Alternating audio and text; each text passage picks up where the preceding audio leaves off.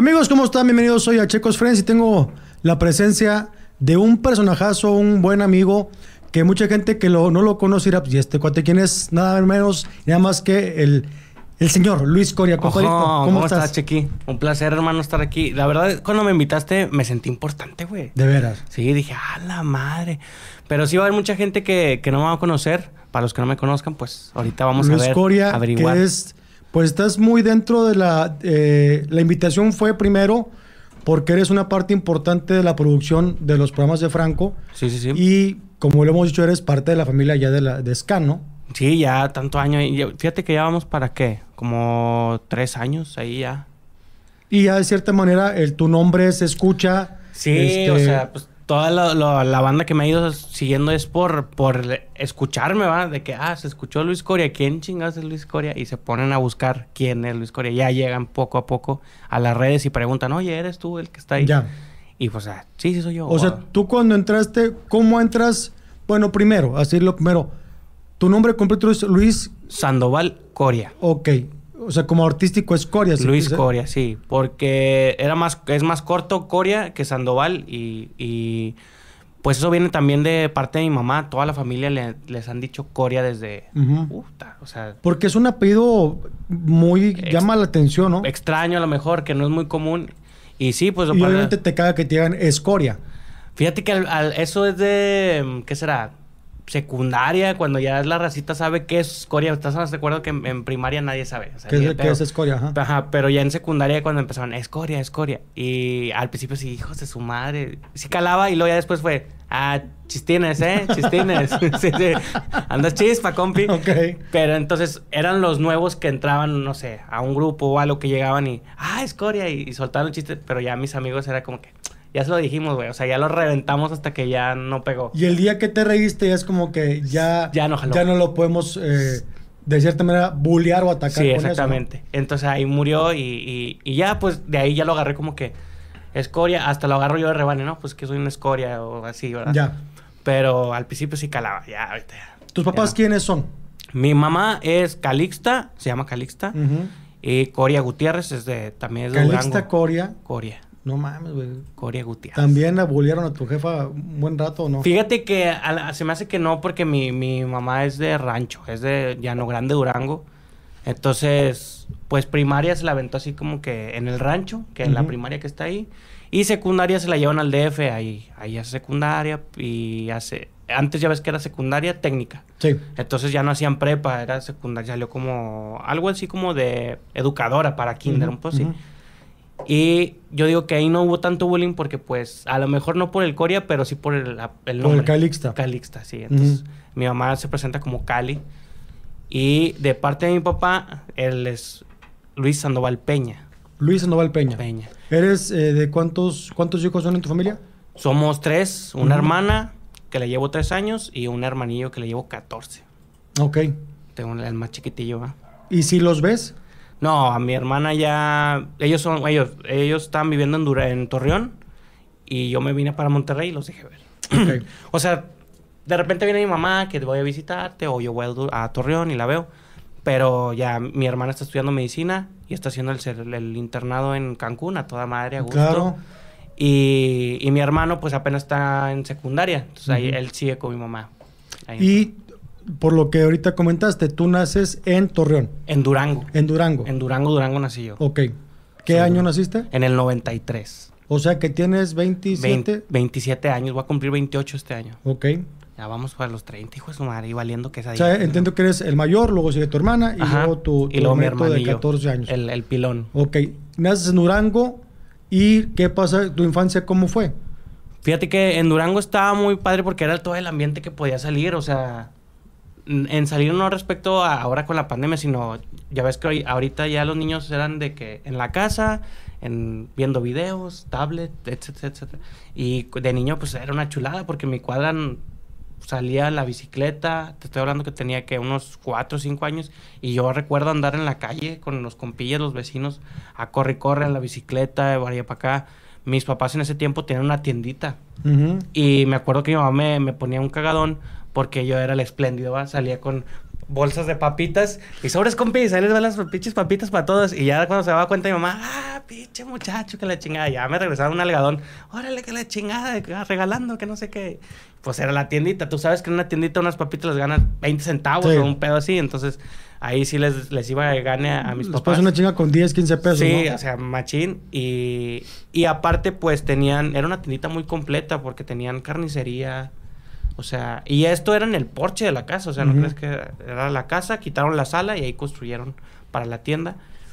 Y cuando, ¿qué será? Voy para tercer, cuarto de primaria, mi papá consigue trabajo en, en, Torreón, del, o sea, la misma empresa, la moda Torreón, en Kellogg's, y nos vamos a Torreón. Y ya, pues ahí dejamos de, ahora sí que de salir porque era otra ciudad nueva. Y pues se queda allá en Durango toda mi familia, tíos, abuelos, primos, todos. En Torreón nos vamos solos, si acaso unos otros primos, primos de mi papá, ya los familia más lejana, no más no tan cercana y pues ahí aprendemos a, a conocer más gente. Recuerdo que vivimos como dos meses en un hotel ahí en Torreón, porque era prestación de la empresa de que en lo que consigues casa, pues ahí está el hotel para ustedes y como ya era tiempo de clases, mi papá dijo, yo ya me tengo que ir a mi familia, ¿no? Pues tráetela y mételos en una escuela. Y ahí nos metieron a una escuela, pero era gracioso que llegábamos, o sea, los vatos del hotel se nos quedaban viendo porque llegábamos con nuestras mochilitas, güey, de la escuela y uniformito. Y se nos quedaban viendo así como que estos güeyes, ¿qué pedo? Porque si duramos un mes viviendo en el hotel. Y luego ya encontramos una casa y ya nos, nos, nos salimos del hotel. O sea, quiero entender que la tienda la atendía tu mamá. Sí. Y tu papá trabajaba en la Kellogg's. Sí. Entonces le dicen, oiga, este, don Luis, hay mejor trabajo? o, hay una o sea, ¿Por qué se cambiaron de Durango a eh, Torreón? En, mi papá trabajaba, era gerente de ventas de Kellogg's. En Durango. En Durango. El, pero de tiendas, mm, digámosle, mayoristas como Soriana, en ese tiempo había Gigante, esas cosas. Y pues ahí ya no había crecimiento. Entonces, como no se supe si mi papá lo pidió o fue como que estás vendiendo Un chido, vente a Torreón y te damos más más, más venta y obviamente pues, un mejor sueldo. Y mi papá dijo, pues vámonos y nos vamos. Y Entonces tu primaria, o sea, ya como tal, ya fue en Torreón, no fue en Durango. Sí, ya fue en Torreón y no como tal en Durango, porque en primaria duré hasta tercero de primaria aproximadamente y lo demás fue ya en Torreón. Que de primarias fueron dos, en Torreón fueron dos, por, porque llegué muy, pues rejego o enojado porque no estaba yo en, en mi lugar. Y sí me corrieron de dos, de ahí de, Torreón. O sea, fuiste rebelde. En... Peleonero, como que andaba muy, no sé, alterado o no quería estar ahí. Y cualquier cosa que me decían me iba sobre a tirar madrazos. Y sí me expulsaron de dos escuelas. Afortunadamente, siempre fui el me bien de la maestra. Y de los maestros y la directora y dos de las directoras que estuvieron ahí de las dos escuelas me dijeron, ¿sabes qué? Ya no puedes venir pero eh, te damos chance que nomás vengas a presentar exámenes finales. O sea, a ver si entiendo. ¿Te peleaste la primera vez y le rompiste el hocico a alguien o, por, o nomás por tocar o qué pasó? Ah, bueno, la que recuerdo mucho eh, fue, por ejemplo, era una escuela muy pequeña, era un colegio muy pequeño, entonces no te dejaban correr ni hacer nada. Entonces yo me ponía a correr en los recreos, que eran un patiecito, güey. Entonces yo me ponía a correr y a empujar gente y así. Y empezaban con una advertencia, un reportito, dos reportitos, y hasta que ya colmé la paciencia fue así como que, bueno, ya, suspendido y reportado. o sea, realmente era por, quiero estar libre, quiero las energías desfogarlas, y aquí no me lo permiten, y era ese el rollo de Torreón nada más. Ajá, exactamente, y ya este, me corren de esa escuela, me, digo, me dan chance de, de presentar los exámenes finales, que mi mamá fue la abogada del diablo, ahora sí que mi mamá es la que iba, no, pues dele chance, ¿verdad? Que, que, bueno, sí, pues, o sea, sí sabe, pero más que está pendejo, pero... Ya. Y, pues el niño es correlón. Sí, sí. Nada más. Y, y pues bueno, va, presento, me cambian de escuela y en la otra, igual, junto reportitos, ahí sí fue más bañado porque descubro una tienda de... Ay, güey, de bromas. Ahí por la colonia donde vivía. Y ya sabes, juntando entre 10 pesitos y que se le cayó a mi papá aquí el pantalón ayer y así, recolectando, voy y compro bombas de humo, güey. Entonces un día de que ya estaba hasta la madre, paso por los salones, regresando al recreo, y los empiezo a prender y a aventar por las ventanas de los salones. Y pinches salones llenos de humo, nos sacaron a todos. ¿Quién fue? No sé qué. y ahí si alguien me empinó, que no sé quién, no, pues fue ese güey, ya, ¿no? Pues su reportazo y advertido, ¿ah? Una más y vas para afuera. Y de esa me acuerdo que hubo un, un vato que se llama Otto, no sé qué ande haciendo de su vida, que él era el más alto del salón. Yo siempre fui chaparrito y ese vato era el más alto. Y estaba así orejoncito. Y, y pasó y me sopapeó. Y no, hombre, me prendió el pinche puente en el fundillo. Me subo una, me subo una silla porque estaba muy alto. Ujú. Y me le cuelgo cual chango atrás en la espalda. O sea, hace cuenta, me sopapea, pasa, me subo a la silla, le brinco. Y le empiezo a agarrar así las orejas y le empiezo a pegar en la cara. Pero así por atrás. Ahí sí fue, ¿no? Ya, por peleón. ¿Qué edad tenías? ¿Qué será? ¿Como sexto? Era- era sexto. 10, 11 años por allá. Sí, ya eras como sexto de primaria. Y la misma, me corren. Y, pero esa estuvo más graciosa porque mi papá ya me tenía sentenciado, ¿va? Una más y vas a ver, cabrón, que no sé qué. Y no le dije a mis papás, me guardé el, el reporte. Y cuando llegaba a la escuela, me, me dejaban en el carro y me bajaba y me escondía del, del guardia que andaba ahí cuando te Ujú. bajaban. Y me metía por, haz cuenta que por un ladito del guardia y me iba y me escondía atrás de las tienditas, güey. Eh, había como, estaban las tienditas y, y luego atrás había como un patio, que será como terreno baldío del- de, de la escuela, que todavía no arreglaban. Y ahí me sentaba desde las 8 de la mañana hasta O las sea, tú ya 3. expulsado, Sí, en tu casa no sabían. No sabían. ¿Y cómo se dieron cuenta, güey? Porque un día me cacharon y le, ya hablaron. Oiga, señora, aquí está su hijo. Ajá, ¿y qué pasó? No, pues que está expulsado y sigue viniendo. ¿Qué está pasando? No, pues ni cuenta que la chingada. Y O sea, ¿cuánto tiempo pasó de que te expulsaron a que tu mamá se Nah, fueron como cuatro días, me duró Ok, el no fue tanto, no sí, fue sí, o sea, ok. cuatro días. Y ya mi mamá fue a hablar, igual la misma. Me acuerdo que yo estaba sentadillo, estaba mi mamá hablando. Y el director se quiso bien. Como yo digo que le ha pasado varios, en, con muchos papás, él empieza a decir a mi mamá, no, yo sé que usted va a decir que es su hijo. Y, mi mamá luego le dijo, no, no, no. Yo sé lo que tengo, o sea, pero explícame qué hizo para, ver qué le vamos a hacer. Este, entonces como que el director pensando en que mi mamá me iba a defender. Y cuando mi mamá le contesta, no, o sea, si conozco a este cabrón, pues nomás dime qué, qué va a pasar. Y ya el director, no, pues vamos a darle chance, que ya no va a venir por su comportamiento, pero pues igual, la misma. Damos chance que presente sus exámenes. Afortunadamente, mi mamá, tío, a- ahora sí que aprendió a enseñarme. Y mi mamá era la que, órale, mi chavo, a ver, esto es tu, tu examen y vamos a estudiarle. Y mi mamá fue la que me ayudó a, a estudiar. ¿Y nunca hablaron contigo para decirte, oye, ¿qué traes, güey? ¿Por qué te comportas así? No, mi, mi, mi papá, mi mamá era más de que, a ver, ¿qué pasa? ¿Por qué? Y yo era así como que, no, pues es que me están molestando. Y mi papá sí era más de que, última vez, cabrón. Y mi, mamá, mi papá sí era más de cintarazo o... Tu papá te, te pegaba a tu papá. de cintarazo cuando nos portaba a los dos, o sea, a mi hermana y a mí nos tocó, a mi hermana no le tocó ni madre, pero Ujú. sí de que de cintarazo o a mi papá una vez hasta me llegó a dar un cachetadón de esos de los bonitos, que no son de, de laditos, son con esto así de que Con nudillo. sí, sí, para que se arregle. Porque le contestas alguna tontera. Le contestaba sí, o sea, ya no, no, por contestar, o sea, mi papá era todavía de la vieja escuela que a mí no me ande contestando, cabrón. Entonces sí me llegó a tocar eh, pues antes así era, y, y y así era mi, mi papá, de que de cachetado un guajolotero y Ujú. edúquese y nalgadas. Lo que sí me salvaba era con los cintarazos cuando andábamos los dos, mi hermana y yo, haciendo desmadre, siempre ponía a mi hermana de escudo. Y mi hermana sí era más leve, entonces cuando veía a mi papá que estaba mi hermana por delante, órale, le tiraba más despacito, pero yo sí la agarraba de escudo, pues estaba más chiquitilla. y órale, órale. Y aquella nomás gritaba. Y yo salía corriendo y me encerraba en el cuarto y ya no me tocaba la chinga.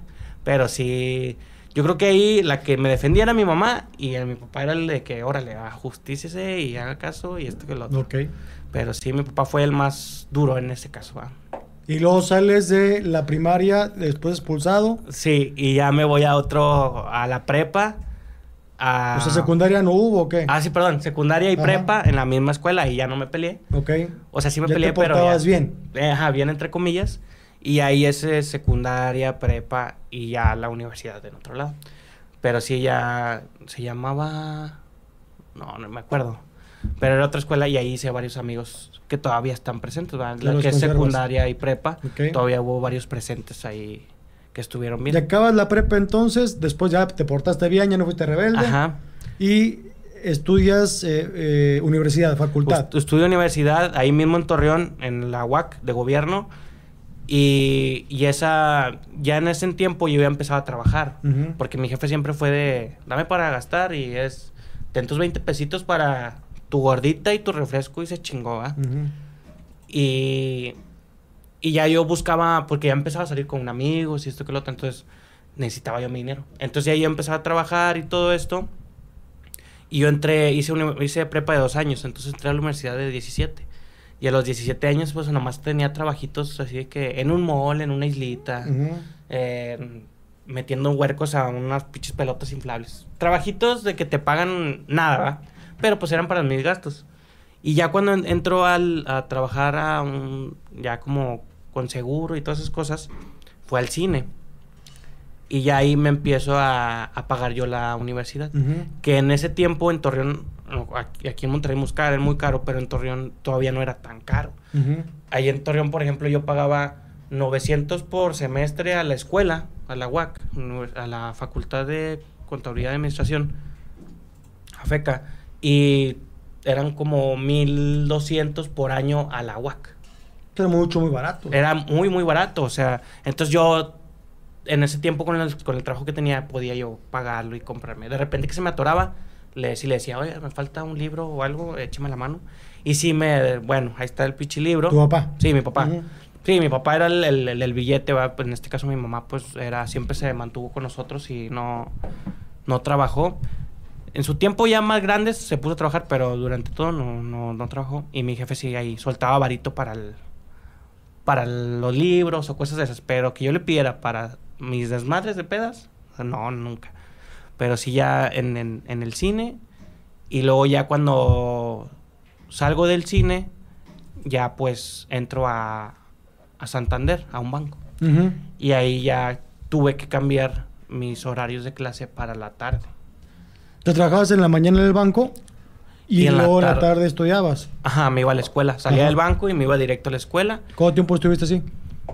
Como el último semestre de la carrera. O sea, tú sí tienes una carrera como tal. Tengo una carrera como tal, pero no tengo, ya no tramité mi título. Vaya. ¿O solamente más te falta eso? Me falta hacer, haz de cuenta que son como otros cuatro meses, en ese tiempo, no sé ahorita cómo estaba, nos daban la opción de, en lugar de hacer tesis, Ajá. ahí ves que antes había tesis, Sí. y examen profesional, te decían, aviéntate otros tres meses de un posgrado.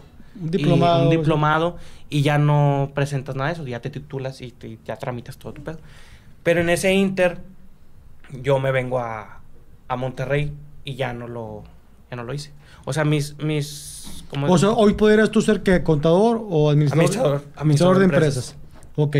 Entonces, si en un momento dado hablaras a la universidad y te piden algunos requisitos, ¿sí lo harías o ya mejor no? Chance sí por el papel. O sea, dices, ¿cuánto te falta? Y a lo mejor que me, me puedan decir, oye, ya se agregaron más materias, pues tienes que regresarte. A lo mejor ponle que me regresan un semestre, que yo espero que así sea, y si no, Ujú. va a estar más cabrón. Sí lo aviento por el papel y más que nada por para que mi hija al momento dado diga, a ver, mi papá es esto y mi mamá es esto, ¿no? Ok. Que no quede así como que mi mamá es esto y mi papá pues sepa la madre, ¿verdad? Ok. Entonces nada más por eso, nada más. O sea, tú renuncias al banco y renuncias a la- de la facultad porque tienes a Monterrey. Me vengo a Monterrey. ¿Por qué tienes a Monterrey? Cuando yo estaba, ¿qué será? A finales de la carrera, me caso con mi esposa Lili y vivíamos. ¿Cómo en- conoces a Lili? Fíjate que esa es una historia muy curiosa porque es. La conozco por medio de unos amigos de la facultad, Ujú, en una peda. ujú, Y cuando la conozco, ella tenía vato. ujú. Y ya, pues nos presentan y todo el pedo. Y haz de cuenta, tú eres Lili y yo estaba así a un lado de ella y oye, yo llegué, digo, yo trabajaba y yo gastaba pues nada más en mí. Y yo llegué con un chingo de chéves, ahora ahí está la hielera. Y me dice, ah, pasa O sea, la quincena era para el pedo y para la Para el fiesta. pedo, para fiestas, para mi ropa y así. Y guardaba algo para gasolinas y a mi mamá le pasaba de repente y, sobre- por, por la comida, obviamente, ¿va? Y, y ya. Pero sí, nunca fui ahorrador, güey. Entonces era, aquí tengo esta lana y vámonos. Entonces la conozco ahí y, y empieza esta, a, a Lili a quitarme pelucitas del pantalón porque yo llegué del banco. Entonces traía el pantalón de vestir y camisita, ¿no? Ujú. Y me empezó a quitar pelucita del pantalón y el vato lo volteé a ver, ¿qué estás haciendo? No, es que trae pelusas. Entonces el que la levanta, a ver, y ahora es que, ¿por qué le estás agarrando la pierna? Y yo, chingue, ya me levanté y me puse a pistear, man. Dije, no, pues llevo un pedo, ahí nos vemos. Y este, y así quedó. Y después seguimos viéndonos por, por los mismos amigos en común. En otras pedas. En otras peditas. Y luego de repente deja el novio. Y luego ya nos acercamos más los dos.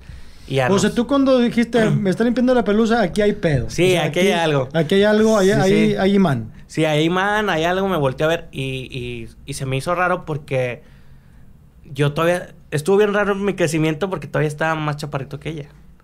Ok. O sea, yo ya tenía, que serán unos 20 años y ella estaba un poco más alta que yo. Y conforme el tiempo yo ya la rebasé. Eso ah, claro, o sea, tú creciste de los 20 a los 22, 23, por ejemplo. Sí, eso estuvo bien o raro. O sea, todavía se casaron más chaparro tú que ella. Sí. ¿Y ahorita ya están del pelo? No, ya la rebasé. Ya, por ejemplo, ya me ¿Cómo crees, güey? Sí. Eso estuvo bien raro. Y, Súper raro, güey. Y lo raro que ella sí me hacía es que, por ejemplo, ella estudió medicina. Ajá. Ella era de la facultad de medicina. Y todos sus novios que yo le conocí, porque antes, o sea, si fuimos amigos antes de ser novios, eran güeyes altos, o sea, altísimos y, pues obviamente... Y aparte con carrera y con sí, o sea, y, había unos que ya eran doctores, ya, ya terminando su carrera y todo, y dije, bueno, pues a lo mejor doy el gatazo, ¿no? Porque, pues obviamente, mi, mi, papá me hizo el paro y me, me vendió un carro barato. Y yo se lo fui pagando. Y yo traía carro, siempre traía dinero. Y, pues, y siempre andaba de vestir por mi trabajo. Pues no me veía tan, tan, pinche, ¿verdad? Entonces yo digo que ahí fue el gatazo. Y ahora sí le, sí le digo, dije, no, te equivocaste de marido, güey. Estamos aquí en la... Y ya, este, se ríe nada más, pero pues le digo, de la mera verdad. Entonces, quiero entender esto. ¿Andan de novios? dos preguntas es, ¿se casan porque se embaraza? No, ¿O se casaron por el gusto de casarse? Sí, nos casamos por el gusto y luego y también porque los Pero si los dos eran de Torreón, ¿por qué se eran a Monterrey? Ahí te va, porque nos casamos en Torreón, también ahí hubo otro que los dos ya queríamos salirnos. ¿De Torreón o de la casa? De la casa. De la casa. Entonces dijimos, oye, pues ¿qué? ¿Nos casamos? ¿Qué onda? ¿Si se arma no se arma? Y dijimos, no, pues va. ¿Y por qué no vivir juntos? Porque tanto en casa de ella como en mi casa eran muy de, no, no, no, a ver, ¿a dónde vas? ¿Por qué? Entonces ya era casado, pues ya no te van a decir nada. Ya. Y, y, nos casamos y nos vamos a vivir juntos. Duramos en Torreón viviendo, ¿qué será? Ya después de casados, como un año. En ese año, en ese año se embaraza en esa casa y todo. Tenemos a, a Verónica ¿Que es tu bebé? Que es mi hija. Y luego nos venimos a, a Monterrey porque su papá vive aquí en Monterrey. Y durante, cuando se embaraza Lili, eh, estaba terminando la, la carrera, pues, la universidad. Y ya no tuvo chance de, cuando nace Verónica, eh, le tocaba hacer el, internado. Y estaba muy pequeña Verónica y decide, decide tomarse seis meses, perdón, seis meses para, para estar con la niña. Y luego ya consiguió en Monterrey una plaza para hacer el internado. Que estuvo mejor porque acá hizo contactos y todo ese rollo. Y aparte que su papá vive aquí. Entonces, eh, mi esposa sí es como que más apegada a su papá. Dijo, no, pues mejor con mi papá. Y dijimos, va. Yo pedí, en ese inter, yo pedí en el trabajo si había oportunidad de un cambio. Afortunadamente, eh, yo era un buen, o sea, era un buen trabajador. En el banco. En el banco. Y me dicen, va, no hay problema. Mi mi director de sucursal me pide un cambio a, a Monterrey, me aceptan, me vengo, me dan dos días, hace cuenta, me vine un viernes, dos días sábado y domingo, y el lunes me presentaba a trabajar aquí en Monterrey. Me presenté a trabajar en el banco y todo bien. Y eh, mi suegro nos propone un negocio de una farmacia con consultorio. Dije, va, suena bien. Pedí un préstamo en el banco como empleado que nos dan como prestación y con eso ponemos un negocio. Y ya cuando empezamos a ver que nos está yendo bien, pues sí, mi esposa fue decir que, oye, pues ya, ya renuncia. Estoy hablando que en el banco me iba bien, porque de eso vivíamos. Pero cuando empezamos a ver ganancias del negocio es, ya renuncia, vámonos. Y dije, bueno, hay dinero, vámonos. Renuncio, pero lo que no contemplamos fue que vivíamos de mi sueldo. Y lo que estaba saliendo era porque no estábamos agarrando nada. Entonces cuando se vienen ya de que hay que pagar renta de casa, hay que pagar los celulares, hay que pagar esto, hay que pagar otro, estuvimos exprimiendo la farmacia y ya no teníamos otro ingreso. Entonces ahí fue cuando truena y ahí sí me voy como seis meses, duré en cama así gacho. güey. Depresivo. Sí, o sea, no me quería ni levantar de para nada, o sea, sin comer y nada, estaba acostado. Y mi esposa estaba yendo a trabajar. Entonces cuenta que lo máximo que me levantaba era con la niña y luego mi suegro iba por ella y se entretenía con mi suegro y luego ya yo me volví a dormir y yo no hacía nada, güey, o sea, nada, nada. Y entonces sale otro local que encontramos y todo y se con como no hay mucho dinero tenemos que vender un carro y con el dinero de ese carro en lugar de pagar deudas dijimos vamos a invertirlo en, ¿Otro negocio? en otro. Ujú. Pusimos otra farmacia y esa, esa ya tiene como que serán cuatro años todavía funcionando con sus bajas y sus altas, pero todavía sigue vigente. Y la otra ya chingó su madre. Sí, la otra de plano cerró, o sea, para abajo. Y, y ya digo, bueno, pues me empiezo a ir a trabajar yo en la farmacia y ahí aprendí, tuve que tomar un curso de enfermería para atender la farmacia como tal. Entonces ya ahí aprendí sacar sangre, tomar la presión, todo lo que básico de un enfermero, porque Ujú. obviamente tiene más funciones. Yo aprendí ahí y ya, pues yo lo hacía ahí. Y pues se vienen problemas en, en- en- ahora sí que en el matrimonio, peleas, etcétera, y dije, bueno, yo tengo que buscar algo para mí. No sé, porque ella es, ella es médico y yo pues no va, administrador de empresas. Dije, tengo que buscar algo que me guste a mí. Y eh, decido entrar a locución y doblaje aquí en una escuela tomé el curso y todo, lo acabé y dije, por lo menos buscar un trabajo que me guste para, en ese tiempo cuando estábamos eh, ahí había broncas, dije, si me llego a ir, de perdido yo tengo algo con que sobrevivir. Y afortunadamente seguimos ahí, no, no me he salido, pero sí fue por lo cual busqué estudiar algo más que me, pues que me gustara y no estuviera, porque en el banco era muy frustrante. Fin de mes era diarrea segura, o sea, por Una presiones presión de que... de... Tiene que cuadrarme el corte y todo eso. Sí, no, no, sino que yo era ejecutivo de cuenta. Entonces, de que el mes pasado vendiste 5 millones de crédito, ahora quiero 10. Ok. Entonces era estar cazando gente, tanto el, el empleado de, de EMSA hasta el, emple- hasta el dueño de tal marca, ¿va? Sí. Entonces, oye, tienes un creditito, no lo quieres ofrecer y, y con eso yo juntar entre poquitos y, y vender para completar las metas, tanto de créditos como de seguros, tarjetas de crédito, mil cosas que vendíamos ahí, ¿no? Y fin de mes era chorrillo, o sea, que te levantabas pensando ya en a quién le ibas a marcar a las 8 de la mañana. Y ahí está el por qué a todo el mundo nos caga a los banqueros, ¿verdad? O sea, ya nada más ves el número y dices, "Y, es el banco, ¿no? Ya qué quieren, ¿verdad? Entonces, si te obligan a ser gorroso, te obligan a, a vender los créditos y a... En teoría te enseñan a que, por ejemplo, si tú vienes a pedirme un crédito y tú me dices, oye, gano, voy a poner un ejemplo pendejo, 5 mil pesos. Y yo te digo, va, tienes un crédito aprobado de 4 mil pesos pero tu sueldo te voy a quitar más de la mitad. En teoría ahí yo como banco te voy a decir, no te conviene, porque te estoy quitando más del porcentaje. Ahí te explica, ¿no? Para que alguien tome un crédito tiene que ganar el porcentaje O sea, el del pago. 30% creo que es lo máximo Ajá. que puedo permitirte para... para... Exactamente. O sea, tú ganas 10 mil pesos, lo máximo que te son 3 mil pesos de crédito. Ajá, para que tú tengas la solvencia de pagarlo. Sí, claro. Pero como estás así de que tengo que vender y te cae un, ahí un diamante en bruto, que dices, ay, este güey le doy ahorita 10 mil pesos porque ya están preaprobados, ¿no? Ahí pues, pum, pum, pum, haces tus, tus, tus pedidos y todo. Y sale, y tú por vender, te vale gorro la, la, economía de, de la otra persona, ¿verdad? O sea, a ti- a- tú ya estás pensando en lo que te van a dar por ese crédito. Entonces, yo creo que por eso a mí ahorita, ahorita me está yendo mal, pero porque sí atoré varios, así que sobres, pues ahí está. Y si iban contentotes, ¿verdad? Ajá. Eso, ese mes. Pero digo, vaya, ¿tú por qué te sientes mal si era un sistema, o sea, si no lo hacías tú, lo hacía otro. Sí, exactamente. El sistema del banco está diseñado para eso. Van a ir con otro, otro chavo y, me van a ganar la venta. Claro. Y eso, eso sí.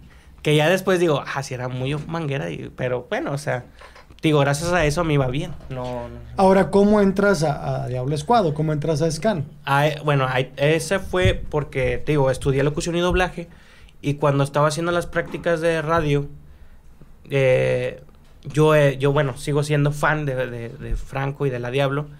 Entonces, acababa de salir la Radio Squad. Y yo, yo lo escuchaba, o sea, entonces dije, voy a pedir chance de que sin paga, nomás quiero hacer mis prácticas ahí, porque soy fan y eh, estar en algo que yo escucho, pues dije, ah, con madre. Y mandé currículum, bueno, currículum y correo a todos los que me encontré. incluso se me hace que hasta si llegas a ver tu correo ahí debe haber uno. Estás tú. sí, sí. Eh, a todos se los mandé y pasaron dos, tres meses, cuatro, y dije, no, ya no se armó. Porque mandé ahí, mandé a otras empresas de radio de aquí en Monterrey para hacer esas, pues, prácticas. prácticas. Y ninguna me contestó. Y de repente, ¿a quién? Ah, Paco andaba vendiendo unas playeras. Dije, ah, quiero una playera, Paco. Y le compré, que por cierto me la vendió en 400. Nada, no es cierto. no es cierto. no, las andaba. no, no es cierto. La andaba vendiendo en 250. Dije, ah, está bien. Y la, se la compro, lo contacto. Y me dice, ah, nos vemos en tal lado. Y ahí te la entrego, ah, con madre. Fui, la recogí, lo conocí. Y ahí, ahí le volví a decir. Pues como todo, ¿verdad? O sea, hasta ahora a mí me ha pasado de que, eh, quiero ahí a ver qué hay, jale o algo. Y le dije, oye, fíjate que estoy buscando hacer prácticas, quiero entrar en la radio, bla, bla. Me dijo, ah, sí, el encargado es Poncho. Y ya habló, habló con él y todo. Y dije, no, pues yo creo que ya no se armó. Pasaron otros, tres meses y de repente me marcaron. ¿Qué onda? Este, oye, hablo Alfonso, de chingada, hablo de acá y que no sé qué. Pues queríamos ver si puedes venir a, a, la radio, querías checar una entrevista tal día. Ah, Simón. De hecho, ese mismo día conozco acá a Estrellita Marinera. Llegamos los dos juntos. Llegué yo y llegó el, el buen base juntos a los dos nos entrevistaron al mismo tiempo y Base iba como editor y yo iba para la radio. Y ya me dicen, ¿sabes qué? Ahorita como locutor no hay, pero hay una opción de controles, porque es lo que nos hace falta en la mañana. Dije, sin pedos, yo jalo. Y ahí me empezaron, sí me pagaban, me daban mil pesos por semana, afortunadamente ya subió, pero en ese tiempo eran mil pesos por semana. Y entonces se cuenta que yo... Por trabajar ocho horas. Por trabajar de se, de 7 de la mañana a 2 de la tarde. Okay. Entonces yo salía de mi casa a las 6 de la mañana para llegar ahí a las 7, porque si vivo retirado donde estaba la oficina. Y ahí conocí, por ejemplo, duré casi cuatro meses y nada más conocía a Frecha, Valero. ¿Quién era? Eh, estaba Cacho Villarreal en ese entonces. Tabito y Luke. Que eran los que iban en la mañana. Y nomás ellos conocía. Yo, tenía, digo, seis meses y no conocía a Franco. Y pues a nadie relativamente. Y hubo un día que Tabito estaba en la tarde. Y Tabito me dice, carnal, me tengo que ir, tírame paro, cúbreme en la tarde. dije, va. Eh, voy en la tarde y ya toca Mesa Reñoña y ahí los conozco a todos. O sea, yo llego así como que, oh, sí, va, así como que levantando la cabecilla. Pero pues obviamente todos llegaron ¿qué onda, qué onda, qué onda, qué onda? Y ya pues así, ¿qué onda, qué onda? Bien feliz, ¿no? Así. Y ya este, me pongo con Rube, ¿qué hay que hacer? ¿Qué es con el otro? Y ya me explica y todo el pedo. Y, y luego ya llega Franco y me dice, chinga, ¿tú quién eres? Y digo, no, ya estoy Luis, tengo aquí rato trabajando. Ah, chica. Pues ya, ya después voy conociendo y que si es así de distraído. Y, y ahí empecé a ir a la tarde y luego pasa una semana, no sé qué pasa con Tabito y duró yendo como una semana de 6 de la mañana a 12 de la noche. Qué bruto. Porque faltaba personal. Claro. Entonces ya checaron y como que se dieron cuenta que estaba trabajando de más. Entonces ya me dicen, no, sabes que ya nomás vente en la tarde, en las mañanas, pues ni pedo, que se quede ahí solo. Y y ya, pues eso me ayudó porque me empezaron a dar programas. De que, oye, pues necesitamos un programa para la radio de tal a tal hora. Ah, bueno, me dieron dos, eh, dos horas, no, er, tenía cuatro horas, dos por día a la semana de radio. Entonces ya empecé. ¿Tú haciendo radio? Yo haciendo radio, en controles y radio al mismo tiempo, porque estaba solo, pero era para llenar espacios. Y eso me sirvió más porque eh, me empezaron a... La gente o la banda que escuchaba los programas de la mañana me empezaban a ubicar. Entonces, ya cuando empecé a hacer mi programa, me empezó a caer gente. Y gente cual... los que cayeron ahí al principio son... Es, es gente que todavía están presentes y me siguen de que ahí pues en, en los streams o cosas que hago están ahí. Y eso se me hizo muy chido, que los que llegaron primero siguen ahí y están viendo todo. Ahora, según yo, te haces famoso por una samarqueña que te empezó a hacer la mole. Sí. Porque tú tuviste un accidente, no accidente, tuviste un episodio de parálisis facial Ajá. que te duró cuánto tiempo y por qué te dio, ¿te acuerdas? Eh, el por qué, sí, me lo explicó el médico. Eh, no sé si recuerdas la primera posada en el, en el bar. Sí.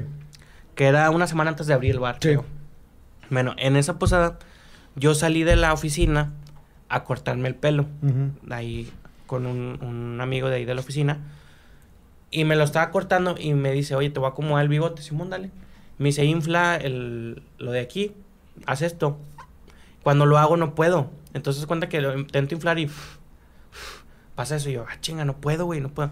Hasta se agarró cura. ¿Cómo que no puedes? O sea, que no puedo, no, no, no podía hacerlo. Entonces ya me saqué de cuadro y pues en ese momento yo me veía bien la cara en el espejo, ¿no? Entonces llegué a mi casa y le digo a mi esposa, oye, revísame, es que fíjate que me pasó esto, no puedo hacer esto, bla, bla. Me dijo, a ver, Aldo. Dijo- me dijo, ay, güey, ¿o qué, güey? O sea, ¿qué pedo? Me dijo, güey, te, te está dando una parálisis facial. Yo, no mames. Sí, güey. Ya fui, de lo que, ¿qué te gusta? 40 minutos del, de- del corte de pelo a mi casa, me volteaba el espejo y ya me veía así como que, ah, la madre, ya estoy chuequito. Dije, no hay pedo, ahorita se pasa, o sea, debe ser algo, X. Total, le dije, arréglate porque ya nos vamos. Y ya se arregló, fuimos a dejar a la niña con mi suegro y nos fuimos a, a- a la posada.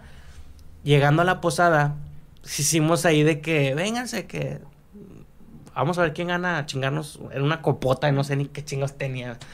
Y ahí están todos con popotes, ¿eh? Tiempos no había COVID, babas con babas, pues Claro. valía gorro. Estamos todo el mundo ahí con popote y me acuerdo que estaba con popote y yo, no podía. Dije, no, ya me rindo, me quité. Y luego ya fue oye, ya está muy cabrón, ¿no? ¿Qué pedo? Me dice, sí, ya te ves así. Y luego dice Franco, eh, vamos a hacer que se suban los que no son comediantes. Y yo ya tenía escrito ahí cinco minutillos que había estado preparando porque me estaba subiendo al escocés. Estaba yendo a subirme ahí el micrófono. Y cuando me subo, me, me vol- volteo a ver a mi esposa y se empieza a reír de mí.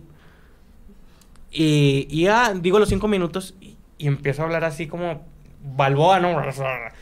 Entonces ya me bajo y dice mi esposa, Andas pedo, ¿no? Sí, me dice mi me dice mi esposa, si yo no supiera qué traes, yo pensaría que andas ya hasta el culo. Y, y ya le digo, no, güey, pues es que no puedo mover ya este lado, güey. Entonces ya ahí como que se, se incrementó más que le tomaba la botella y se me salía por aquí. Qué mal pedo. Entonces ya era con popote y de este lado y Ajá. succionándole, ahí, ah, pero huevado pisteada, no dejaba de pistear. Y al día siguiente ya voy con, este, al médico. Bueno, fui con mi suegro, porque mi esposa, mi suegro también es médico. Ujú. Y mi esposa le dice, oye, fíjate que lo revisé ayer, este güey trae una parálisis, pero no sé por qué, güey. A ver, tú que sabes más, pues a ver qué pedo. Y ya me revisa mi suegro y me dice, no, este güey trae una infección en el oído. Entonces lo que pasa es que trae una infección en el oído, se inflama el- la parte de adentro del oído, no me dijo la parte, pero no me acuerdo cuál. Y aquí pasa un nervio facial. ¿Nervio facial? Y pum, eso ocasionó que se me traba. Entonces mi luego, luego me empieza con tratamiento... Ay, ¿Cortisona? cortisona, betametasona, todas esas cosas. Y afortunadamente duró un mes, dos meses, todavía sin chueco, y todavía pues yo tenía que hacer ejercicios que me dijo mi esposa para ir agarrando forma o la cara. Pero la cortisona me hizo un desmadre, güey. o sea, de cuenta, si ahorita estoy un gordo cachetón, la cortisona era una bola. güey. Entonces, diciembre, todo diciembre estaba a bola, bola, una panzota que no aguantaba porque me ocasionaba gastritis y mamada y media.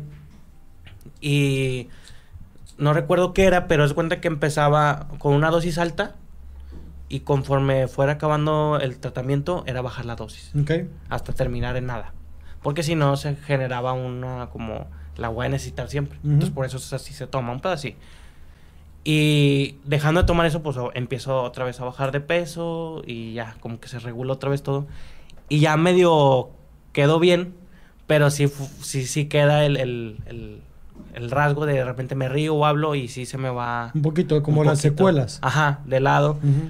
Entonces, de ahí, fíjate que no empieza de las armarqueñas, sino unas mesas, a- unas mesas atrás, este, no sé por qué siempre me ando metiendo chingazos en el codo.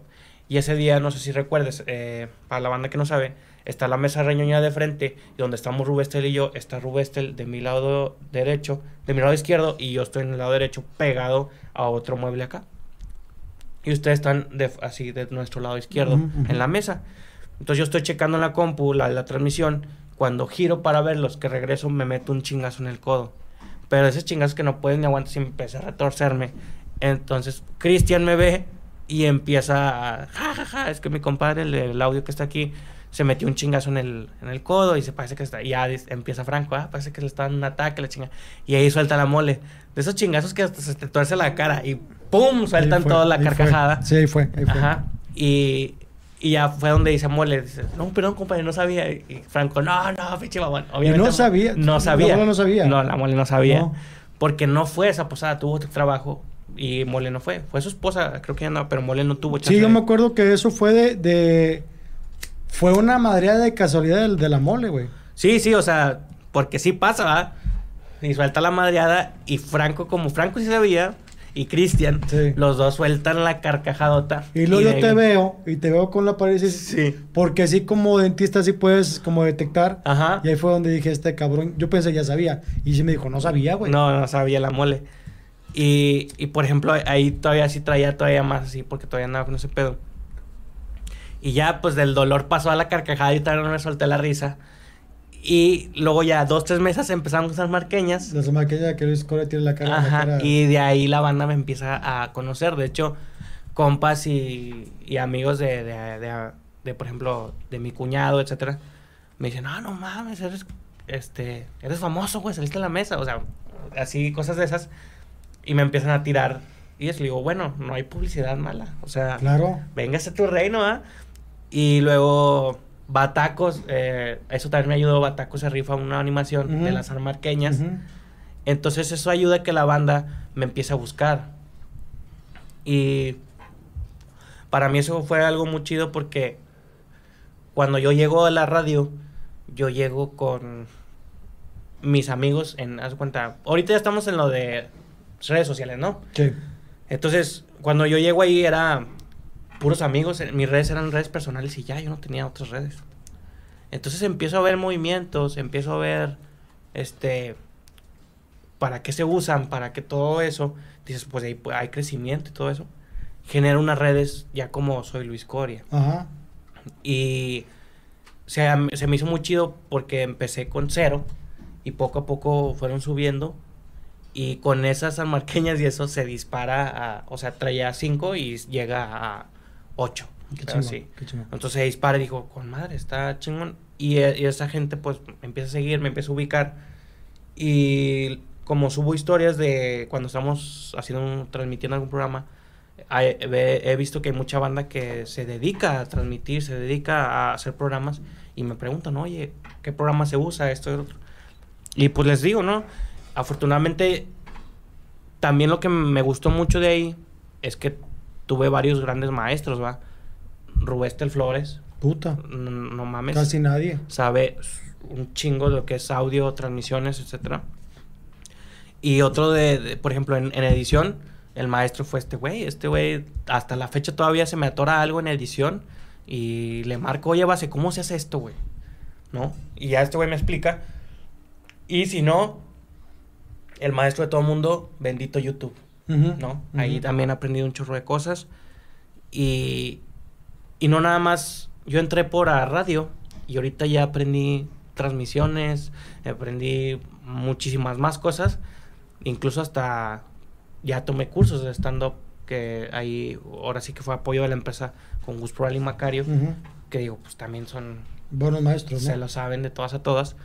Entonces, afortunadamente en la empresa pues he desarrollado más habilidades que todavía falta por aprender, pero está muy chido ahí. Oye, me quiero ir para atrás un poquito y obviamente si me quieres platicar. Dale, dale. eh, con, en confianza me platicaste qué pasa con tu, con tu señor padre. Eh, ¿Me puedes platicar esa historia? Sí, ¿Cuándo sí. empieza? ¿Qué año fue todo ese rollo? ¿Qué año fue? Mi hija tendría tres años, ahorita tiene, acaba de cumplir siete. O sea, cuando tu papá le dice, me voy a casar, ¿qué te dice? ¿Está seguro? Nada más. No sé, ajá. Me- bueno, regresando a, con mi- a cuando me iba a casar, mi papá me dice, ¿estás seguro que te quieres casar? Y yo, sí, pues sí. No fue una boda ostentosa, fue una boda en, en, en algo tranqui con la familia. Me la pasé con madre. Este, mi mero mole, fui, renté, fui, compré un chingo de cerveza. Yo no me fui a lo nice y que botellitas, nada, Pinches barriles de cerveza para la banda. Porque iban mis amigos y mis amigos pues eran cerveceros. Cheleros. Y mi esposa también es chelera. Dije, pues, chéves para todos, ¿no? De hecho, ahí me da mucha risa. Esta es otra anécdota. Mi, el que es ahorita mi compadre, el padrino de mi hija, cuando nos casamos, se acaba la, la boda. Ya eran las pinches seis de la mañana, güey. Ya, no, ya, fuga la chingada. Y luego eh, nos íbamos a quedar a dormir ahí, mi esposa y yo, en el lugar donde fue la fiesta. Y dice, dice mi compa, ya bien pedo. No, ustedes váyanse a dormir. Yo aquí me quedo cantando en bajito. En el karaoke, güey, bien prendido en el karaoke. Eso estaba, ah, güey, órale, ya a dormir. Ahí se quedó también, ya, duérmete. Es eso, bueno, es una historia. Mi papá va a la, a la boda y mi papá todavía no me dijo, ¿estás seguro de lo que estás haciendo? Sí, pues sí. Pues bueno, güey, no hay marcha, no hay marcha atrás. Dale. No, eso sí me dijo, yo no los quiero aquí derrimados, así que Búscale. búscale dónde. Y afortunadamente, pues te digo, ganaba pues bien, podía solventar una casa y todo. Y rentamos una casa y nos fuimos. Cuando nos venimos a Monterrey, eh, ¿qué será? Cerramos, cerramos el local, me entra la depre, eh, me levanto y digo, hay que hacer algo antes de, de tener el negocio. no, más bien, vendemos el carro, hacemos el negocio, digo, necesito más dinero. Digo, ¿qué voy a hacer? A un lado, del, a un lado de mi local rentaban otro. Dije, pongo unos hot dogs. no es por nada, pero me quedan con madre. Dije, bueno, unos hot dogs que me saben, o sea, me salen, me salen ricos, vamos a venderlos. Y compro un carrito de hot dogs y para rentar el local. El día que me iban a entregar el carrito, aquí vive una tía, que es mi madrina de bautizo. Y le hablé, oye tía, fíjese que los que hacen el carro, el carro de hot dogs está muy lejos. Entonces, eh, no sé si me puede hacer el favor de recibirlo y yo después voy a su casa por el carrito. Dijo, no, sí, sin problema. Para esto mi papá de Kellogg's eh, lo, lo corren y encuentra otro trabajo, pero aquí en Monterrey. Y eh, ya estando trabajando aquí en Monterrey, mi papá iba y venía a Torreón. O sea, Torreón, haz de cuenta, de Monterrey, fin de semana, se iba a Torreón con mi mamá, mis hermanos, y regresaba a Monterrey a trabajar entre semana. Y Tú cuando... lo veías. Fíjate que no, casi no... Mi papá iba de repente, pero así como que... Ven, traje comida, vamos a comer, y ya comíamos con él y se iba a trabajar. Ujú. Pero era así que una vez al mes o algo así. Y, y ese día dije, ah, pues sirve que... No, más bien, dos días antes, eso estuvo chido, porque dos días antes, por causas del destino, yo pasé por casa de mi tía. Y dije, ah, voy a llegar a- con mi papá. Pasé y estaba el carro y dije, ay, aquí está mi papá. Llegué, me estacioné, me bajé y estuvimos cotorreando. Y, ah, ¿qué está viendo? Ah, una película aquí en el Netflix y la chingada. Vamos con madre y ahí estuvimos platicando. Y llegó mi primo. Este, nos quedamos platicando los tres a toda madre. Y luego ya me, habló- me habló Lili, oye, que necesito esto. Y dije, no, güey, pues ahí se ve, nos vemos ahí, cuídate, nos vemos. Le di su beso y todo. Y, me voy a la casa. Cuando ya me van a entregar el carrito, llego a, la... Ah, bueno, le hablo a mi tía, oiga, tía, eh, ya van para allá, en una, una hora llegan ahí. Me dijo, ah, está bien, eh, nada más si puedes venir, quiero hablar contigo, eh, pero de frente. Y yo, ah, cabrón, pues, ¿qué hice? Ah, ya valió madre. Llego y está mi tía ahí, entregan el carrito, lo baja y todo, lo dejamos. Me dice, oye, es que desde ayer no localizo tu papá. Dije, "Ah, chinga, ¿cómo? Dice, sí, no, no lo encuentro, estoy marcando, da, da señal, pero no, no me contesta. Cuando se va a Torreón me avisa, oye, voy a Torreón, no va a llegar, y me voy.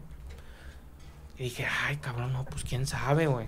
Entonces yo dije, yo, en la- con el, donde trabajaba, el, el que era en ese momento su jefe, era muy amigo de la familia. Entonces yo tenía su teléfono. Y dije, le voy a marcar. Dije, pero, una de dos, o le marco y se la cago a mi jefe. Yo pensando mal, ¿verdad? Dije, se la voy a cagar y este anda, no sé, a lo mejor anda en un pedo, anda de cabrón. Y, y en el trabajo piensa que está trabajando y este güey anda en su pedo. Una de dos, o se la cago o... Y se mete en un pedo así. Entonces ya se nos hacía mucho. Dije, no, chingue su madre, pues se, la voy a cagar por pendejo, ¿para que no contesta?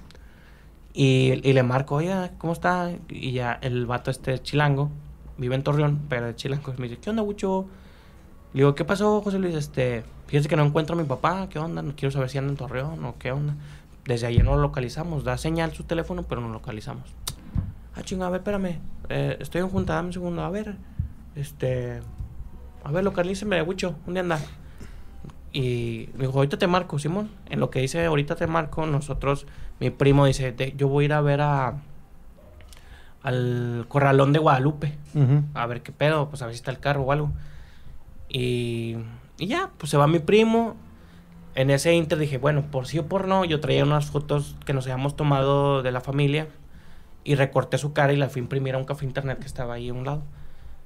Y ya yo venía con mis pinches fotitos impresas en una, en una hoja de máquina y en eso me marca eh, eh, el jefe de mi papá. Me dice, ¿qué onda, mucho? Oye, pues fíjate que le estamos marcando, no lo localizamos, pero el celular de la empresa está entalado y el carro está en el corralón de Guadalupe.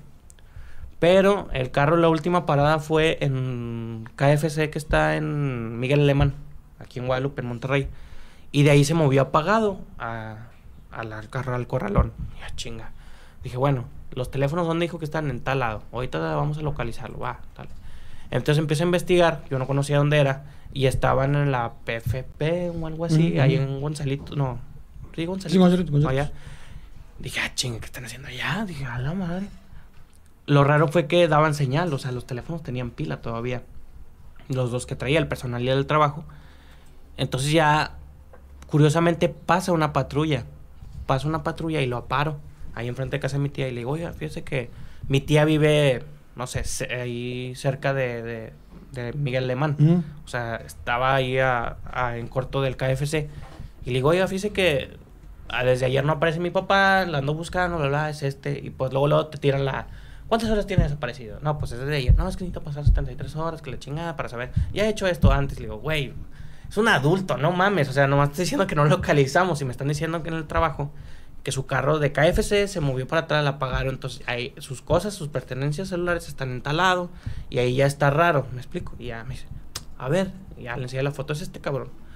Me dice, y me- se voltean a ver los dos pendejos así como que los policías. Digo, pues ya, o sea, díganme, ¿cuál es el pedo? O sea, suéltenme ya el, sablazo. No, no, es que primero vamos a ver este, qué pasó bien. Vamos a hablarle a un compañero. Hablaron a otra patrulla de otro güey. Y ya me dice, "¿U- ¿usted qué es de, él? Y, ah, es mi papá. Le digo, soy su hijo. Ah, bueno, pues este, mira, le digo, ¿para qué la piensas, cabrón? Pues si tú, ¿qué va? Y al, sí le dije, ya estaba molesto y me dice, no, no, es que fíjese que ayer en el KFC ocurrió un accidente, tuvo un paro fulminante de acuerdo a la Cruz Verde o algo así. Y pues está, ahorita está en la CEMEFO, en, la universitaria, un pedo así. Y ya fue, yo me quedé así que verde, ¿no? Pues gracias. En ese momento mi única reacción fue, "Bueno, pues gracias, ¿no? Voy a casa, haz cuenta, camino dos, tres pasos, llego a casa de mi tía, está mi tía en la reja me dice, ¿qué pasó? Y, le- digo, no, pues que está muerto. O sea, yo todavía no... Y dice mi esposa que todavía no me cae el 20. Entonces, que me quedo así que, pues ya está muerto. Mi tía se suelta a llorar, mi hija es voltea así como, ¿qué pedo? Estaba bien pequeñita, no sabe ni qué rollo. Mi esposa le habla a mi suegro, llega mi suegro y, y me dice, no, pues llévense a Verónica, mi suegro se lleva a Verónica. Y nosotros nos lanzamos al universitario, ¿no? Ya llegamos ahí y otro pedo de que va a reconocer el cuerpo y que usted quién es y que no sé qué, que fue que vino. Bueno, pues ya reconozca, le digo, no, pues sí, sí, es mi papá. Que es una imagen horrible porque esto te estoy hablando que fue un martes. El miércoles yo ya voy a reconocerlo, pero hasta las 11 de la noche. Entonces ya tenía más de 24 horas de fallecido. Entonces cuando vas a reconocerlo, ya le hicieron una autopsia. Para, cuando es en la calle a huevo les hacen autopsias. Entonces vas a reconocerlo y mi papá pues eh, siempre estuvo pelón y se rasuraba. Y recuerdo bien que aquí se le veía ni con hilo, o sea, con alambre, güey, así el pinche, así todo esto así abierto. Bueno, con alambre cerrado. Y pues obviamente todo esto, ¿va? Donde abrieron y todo. Dije, no, pues sí es, güey, o sea, ya, sí es. Salgo lo recon- de reconocer todo, me, me dicen qué papeles necesito y, y ahí va lo peor, o sea, es avisa en tu casa, güey. O sea, mi mamá, O sea, tu mamá ni idea. ni idea. O sea, se le hizo normal que tu papá no le hablara en dos días. Eh, mm, dice mi mamá que sí, que se le hacía normal, que si yo le marqué, yo me dije, pues está ocupado. Y ya no le marcaba. Y como ya iba a ser este... Fin de semana. Ajá, y él, él iba a cumplir años. Eh, sus 50 años mi papá iba a cumplir, iba a hacer una fiesta en Torreón el fin de semana. Entonces mi mamá andaba en pedos de acomodando todo para el fin de semana. Y, y dije, ¿cómo le hablo, güey? ¿Cómo le hablo? Y yo no sabía la reacción de mi mamá. Entonces, yo eh, hasta ese tiempo yo estaba sereno, o sea, muy, muy, muy, muy tranquilo. Y le hablé a un tío, un, un primo de mi papá. Le dije, ¿sabe qué? Láncese a mi casa. ¿Por qué? ¿Qué pasó? Pues fíjese que pasó esto. Le expliqué y me dijo, no me digas. Sí, sí, bueno, ahí voy.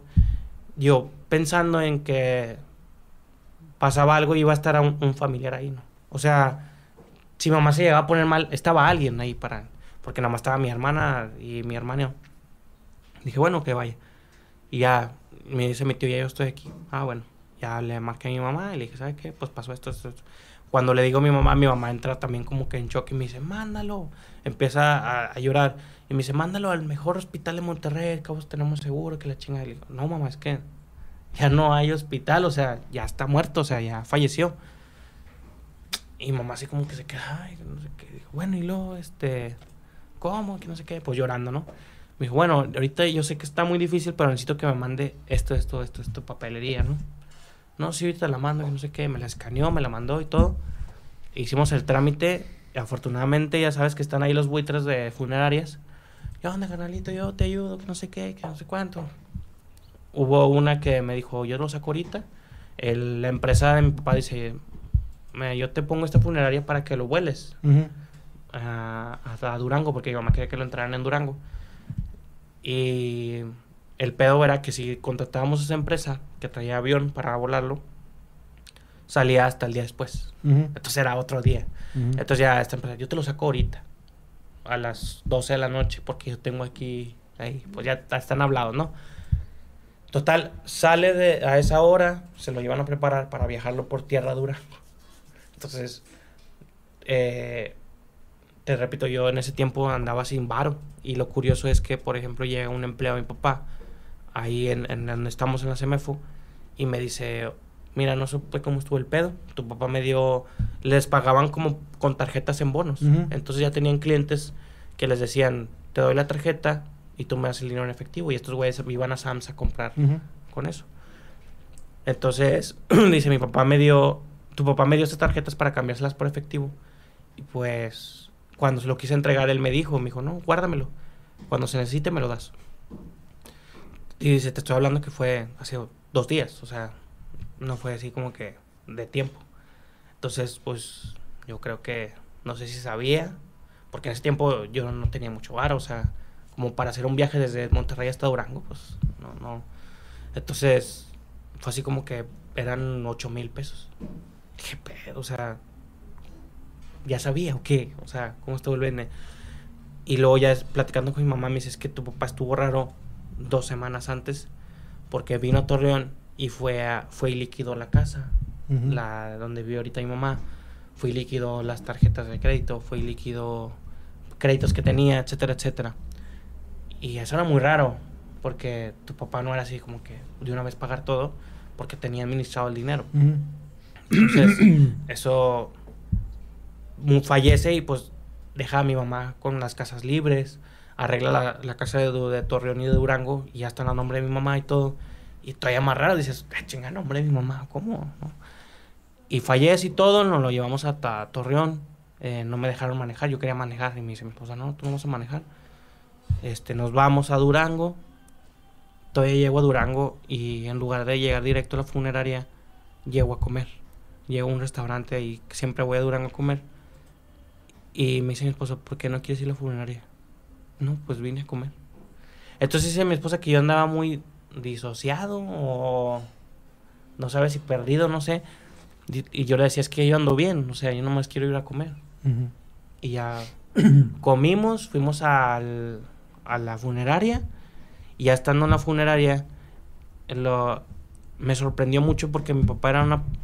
Yo nunca lo vi como muy amiguero, tenía sus amigos y todo, pero me sorprendió mucho que llegaron muchos ex empleados que estaban a su cargo a la funeraria, o sea, de Torreón, de Durango, de todos lados. Y, y llegaron a lado, no, pues lo siento mucho, tu papá, no, que le chingada. Y me, me ponían a otra persona que no conocía yo, no sé si me explique, o sea, como que conmigo fue muy de que tienes que hacerlo y algo así. Y, y con ellos era, yo te ayudo, ¿qué necesitas? Mira, te encontré un mejor trabajo. Eh, estaban trabajando con él, pero eh, mi papá decía, mira, hay otro mejor puesto acá, güey. Ya te contacté y te recomendé, vete. Entonces estaban muy agradecidos con mi papá y yo me ponían una persona así, yo, madre, o sea, ¿quién es? Y el punto de quiebre ahí fue cuando llega a la empresa donde trabaja mi papá, la recursos humanos, y empieza a repartir unas tarjetitas. Tenía la imagen de mi papá y luego sobre la tarjeta decía, no lloren por mí, que yo siempre estoy con ustedes. Y ahí trueno, suelto un llanto, dice mi esposa, fue un llanto de... Pues sí fue llanto de dolor, pero te duró una madre, güey, o sea, fue nada. Tú nada más en fumando, te salías a fumar, regresabas, te sentabas, no veías a tu, ni siquiera te, te acercaste a ver a tu papá, porque tenían que acomodarlo, porque con el camino se movió un pedo así, y se le alcanzaba a ver aquí la, lo que te decía. Entonces, le dije a mi esposa, pues ve tú, güey, o sea, yo no. Entonces mi esposa, digo, abrió el cajón y lo acomodó y todo. Y yo en ningún momento me acerqué a verlo. Entonces, dice, esposa, tú estás mal, güey, o sea, te falta soltarte. Digo, no, pues es que ya. Nos regresamos a Torreón y como si nada. Y hasta la fecha, yo todavía de repente sigo sintiendo que está ahí. O sea, como no lo veía seguido.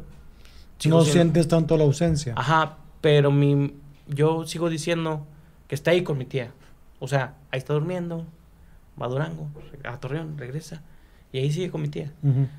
Entonces, sí, como que dice mi esposa, pues güey, te falta soltar y llorar eso que no ha llorado o que no te cae el 20 del, del que ya no está, güey.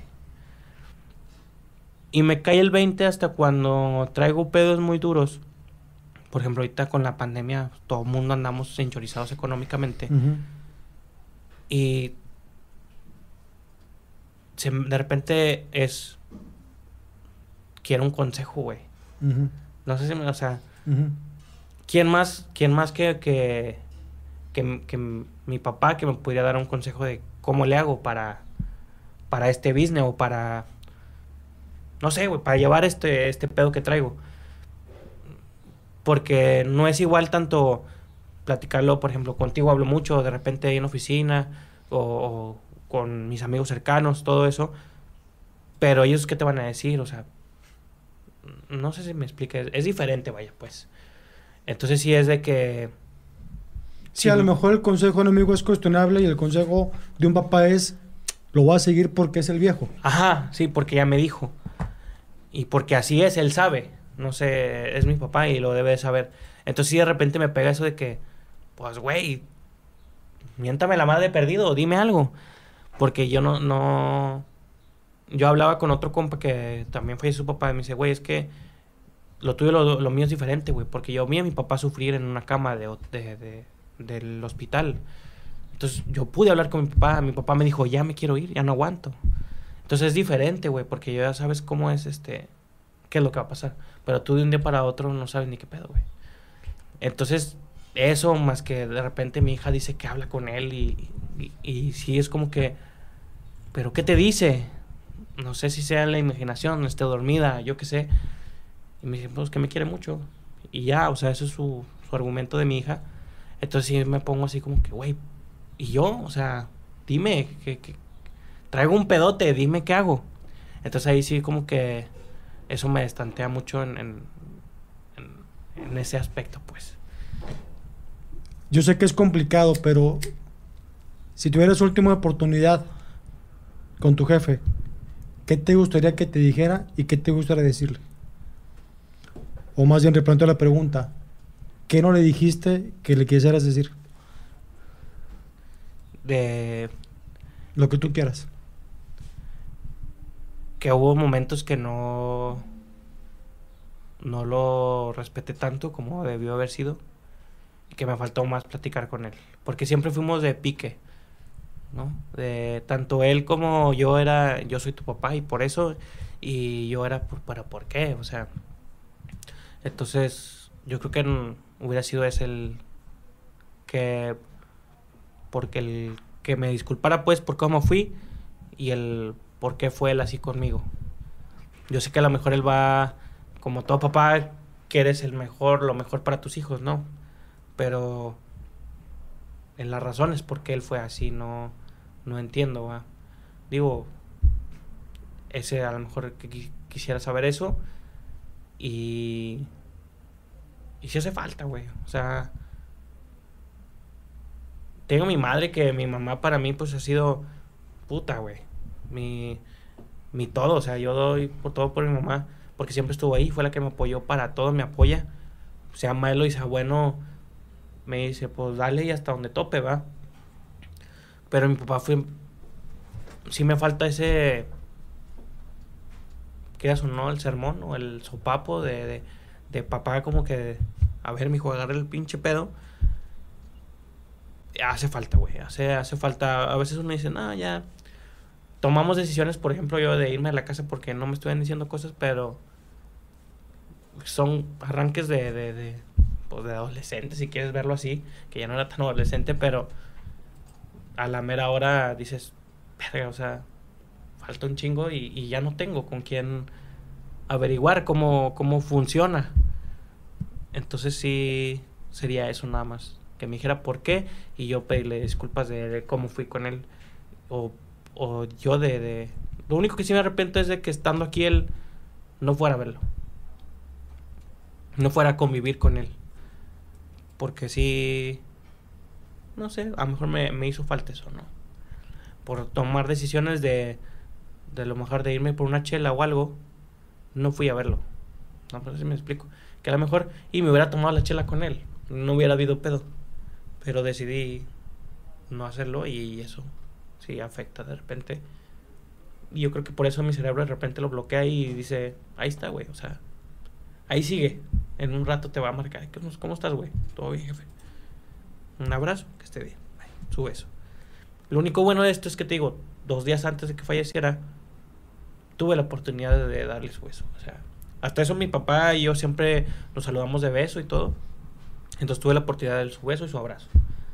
No sé si ese fue la despedida. Fue un, si fue así, pues estuvo bien. Platicamos con madre. Nos peleamos. Pero nos faltó platicar más. No sé si porque llegó mi primo y empezamos a hablar de otras cosas. No sé, pero yo creo que sería eso. Cory, te agradezco muchísimo esta entrevista. Hombre, a ti, carnal. Gracias por gracias. compartirnos todo tu, un poquito de tu vida y, y solamente esperar que tengas un muy, muy buen futuro. Esperemos que sí y seguir a- aprendiendo, güey, de ahí de la banda. La verdad, yo, yo aprendo mucho ahí en la oficina. Y quiero, se- quiero seguir adelante con, con YouTube, lo que estás haciendo tú, con el stand-up, comedia, etcétera, etcétera. Entonces, todavía me falta mucho para aprender y espero que la banda, pues, la que me, poca que me va siguiendo, me les siga gustando lo que subo, mis pendejadas y pues ahí estamos. ¿Puedes darnos tus redes sociales, por favor? Claro que sí, hay en todas las redes sociales, Instagram, Twitter, Facebook, Twitch, como soy Luis Coria. Y en Twitch, si eres madrugador o si eres de noche, casi todos los días estamos en la madrugada jugando ahí o platicando, viendo videos o ahí pendejeando con la banda en Twitch. Pues si quieren caerle. Gracias, Coria. No, gracias Te agradezco muchísimo. Gracias. Señores, esto fue Checos Fresa, la presencia de Luis Coria. Cuídense mucho y hasta siempre. Nos vemos.